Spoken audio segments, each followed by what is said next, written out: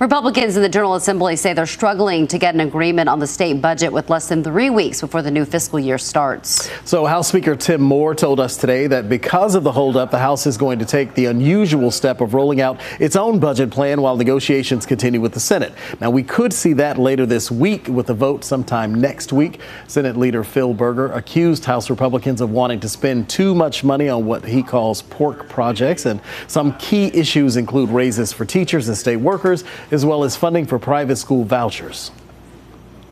Because the negotiations have uh, reached a, a bit of a sticking point, we felt like it was very important, given where we are in session, that the House move forward with a budget bill. Senate Leader Phil Berger accused House Republicans of wanting to spend too much, as I mentioned, on these pork projects. Uh, of course, we'll have much more on the budget as soon as that information, as soon as it's approved. We'll keep you posted on what happens.